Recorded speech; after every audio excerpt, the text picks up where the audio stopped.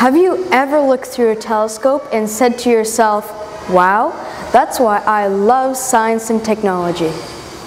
I'm a passionate astronomer and seeing those stars and galaxies that are millions and millions of light years away really impact me not only presently but in the future as well.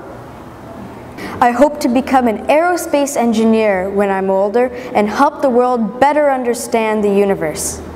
My name is Nicholas Zuger, and if I can become a National Science and Technology Week champion, so can you.